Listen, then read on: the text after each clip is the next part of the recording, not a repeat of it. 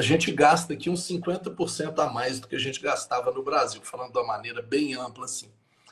E só que aqui se faz muito mais dinheiro do que no Brasil. Então, um, vou pegar o exemplo de um Uber, aonde eu moro, que isso vai variar. Então, onde eu moro, se a pessoa trabalhar firme no Uber e for um carro maior, por que um carro maior? Porque aí pega o Uber de carro maior, o Uber XL, que é bem mais caro do que o outro Uber. Ela faz uns 6.500, 7 mil dólares por mês, trabalhando aí umas 50, 55 horas por semana. Isso aí em real dá 35 mil reais. Que Uber no Brasil que chega perto disso? Não existe, não tem, não tem jeito. Vai então, gastar mais, mas vai ganhar mais. Sim. Então, no final, o que sobra é mais também, entendeu? É. É. Até porque você acaba fazendo muita coisa que aqui você paga, né? Sim, sim, sim. Faz muita coisa que é, é, super comum o americano comprar. Antes eram aqueles manuais, hoje a internet tem tudo, de como trocar um farol, é, aí como trocar um para-choque do carro. Aí ele compra o para-choque e ele mesmo vai e troca. Ele compra os pneus, aí ele vai e bota o pneu. Então é, tem muita gente que faz isso, porque quando entra o serviço aqui, de fato é, é caro. É caro. Então é, você precisa todo tipo de fazer serviço, né? todo tipo de serviço. Você precisa ou fazer ou pagar. A economia, a economia do, do dia a dia, assim, a comida, o... porque a gente vê nos filmes, né, e nas séries, as pessoas pedindo comida assim com muito com muita desenvoltura e comida é serviço, né? Sim. É, o serviço de entrega, ele uma pessoa que trabalha em serviço de entrega aqui, um, um DoorDash, um Uber Eats, eles também conseguem fazer um dinheiro muito bom a, a questão da economia estável aqui, ela é, ela é uma economia super robusta, então a, a, terra é boa. O que, o que você plantar trabalhando firme, você vai colher coisa boa, sabe? E tem várias regiões dos Estados Unidos, isso é muito importante. Muito cliente fica perguntando para gente assim: Onde que eu vou morar? Eu estou pensando na Flórida, mas é porque eu sempre vou é para lá mesmo, mas eu sei que os Estados Unidos é muito grande. Hoje eu estava conversando isso com um cliente que já inclusive morou na Carolina do Norte. Não foi onde eu moro, não. Ele morou perto, umas duas horas de mim. E ele falou: eu fico pensando na Flórida, mas a gente não sabe, né? Ele está para vir mais ou menos em fevereiro ou março. Então, é assim, tem vários várias regiões, vários Estados Unidos dentro dos Estados Unidos. Aonde eu estou aqui agora, estou em, em Sunny Isles, que é praticamente a grande Miami, é completamente diferente do que na minha casa. Eu moro numa região suburbana onde só tem casa. Para eu pegar uma região de prédios altos, eu tenho que andar o quê? Há uns 25 minutos para eu estar perto de prédio alto. Não que não tenha. É, é, o, o prédio do nosso escritório tem dois andares. Então, e é tudo assim eu tenho que andar quase que meia hora para ter prédio. Aí agora eu estou num prédio de 40 andares, estou no 24. Isso não existe onde eu moro. É muito são realidades muito diferentes. Se a pessoa vai para um Nova York, é uma loucura. Se ela vai para um interior, pode ser, pode ser interior do estado de Nova York mesmo, que o estado de Nova York é muito grande, tem muito interior isolado lá. Ela vai ter outra realidade. O que eu gostei aqui foi da vida suburbana americana que é viver em casas que são aí afastadas da cidade. E é muito bom, porque muita gente fala, gente, mas subúrbio no Brasil tem uma conotação ruim. É. Eu, falo, eu vou explicar por quê. Porque nos Estados Unidos a infraestrutura é sensacional. Então, se você está a 20 quilômetros da cidade, 30 quilômetros da cidade, você não vai. Você... Belo Horizonte, aeroporto de Confins, do centro. São 40 quilômetros. Confins do Judas, aquele aeroporto. São 40 é quilômetros. A muito escola, longe. A escola do Arthur é 40 quilômetros da minha casa.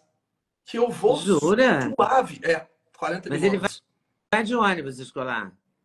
Não, não. A escola, como é a escola particular, não tem ônibus. Eu levo ele. Você leva todo dia? Você faz 40 para ir, 40 para voltar? Caramba! De, depois mais 80. 160. É. Dá duas horas e meia. Como como o meu trabalho envolve falar muito no telefone, hum. eu falo direto no telefone, indo e vindo. Isso aí me ajuda bastante. Então, é, é, é, no Brasil, se você não mora perto, você quer morar perto do centro, perto. Porque senão você está morto. É um confins por dia, ninguém aguenta é. isso.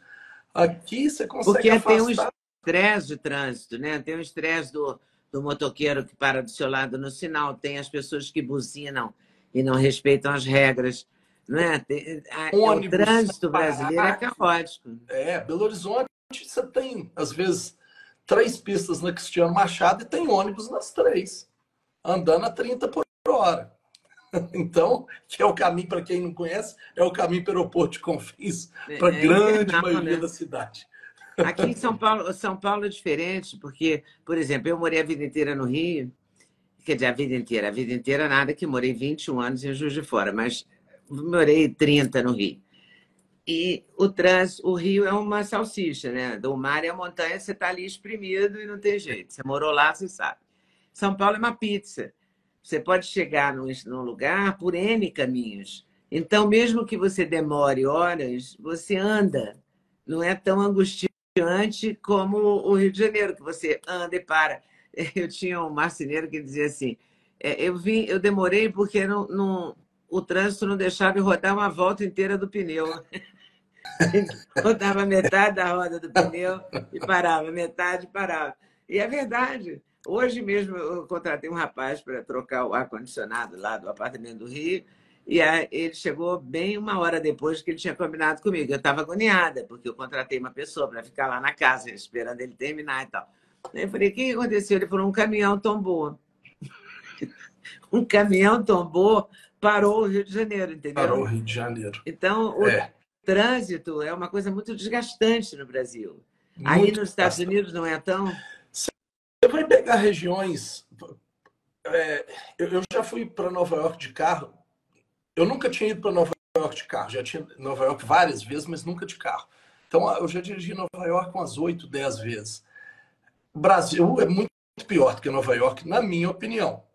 É, aqui em Miami, lá para o sul, então, o trânsito é ruim, mas é muito melhor do que no Brasil. Eu acho o Brasil muito pior. E uma, uma diferença que tem, aqui nas cidades pequenas, cidades médias, você tem uma economia forte que vai te possibilitar trabalhar. Então, se você.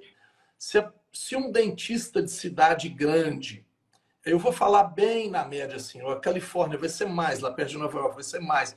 Mas um dentista em cidade grande começa ganhando entre 150 e 250 mil dólares por ano.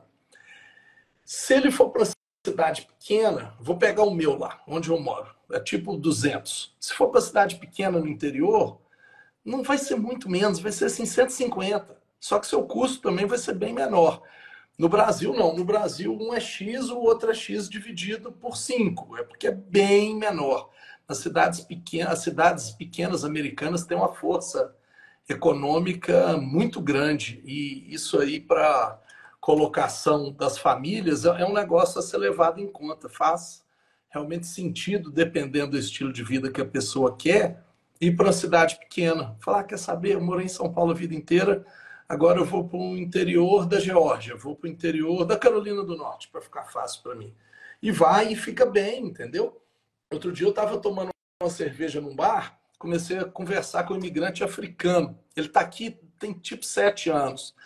E ele estava com até o UTV, que é aqueles carros que você aluga, gaiola, para quem conhece o apelido. Ele tinha tipo uma pancada de UTV, acho que ele tinha 10, 12 UTVs que ele alugava, tinha duas casas que ele alugava.